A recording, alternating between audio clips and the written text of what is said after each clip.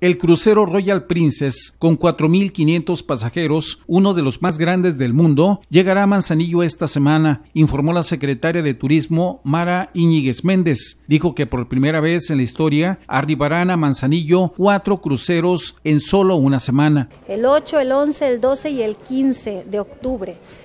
cuatro cruceros. Eh, bueno, estamos muy contentos porque es de gran fortaleza para el turismo.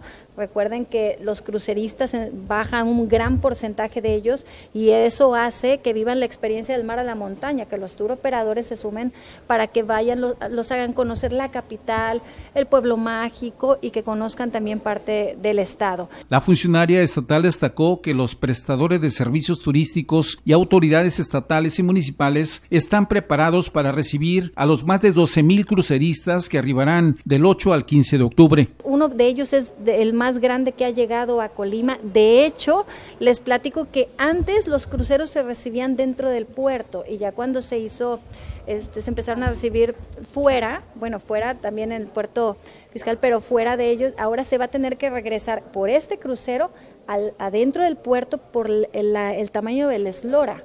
Es enorme el crucero trae 4.500 personas. Regularmente nos han llegado cruceros de 2.500, 3.000 personas.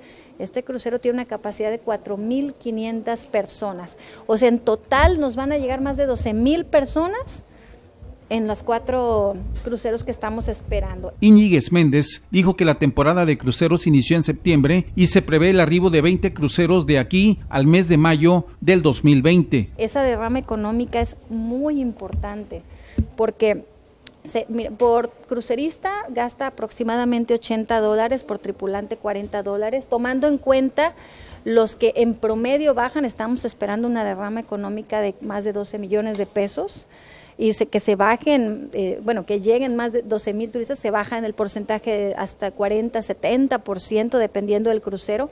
La Secretaría de Turismo ofrece la promoción del mar a la montaña a los pasajeros que bajan de los cruceros, con rutas que van de Manzanillo a los municipios de Comala, Colima, Armería y Tecomán. Noticias 12.1, Marcos Rivera.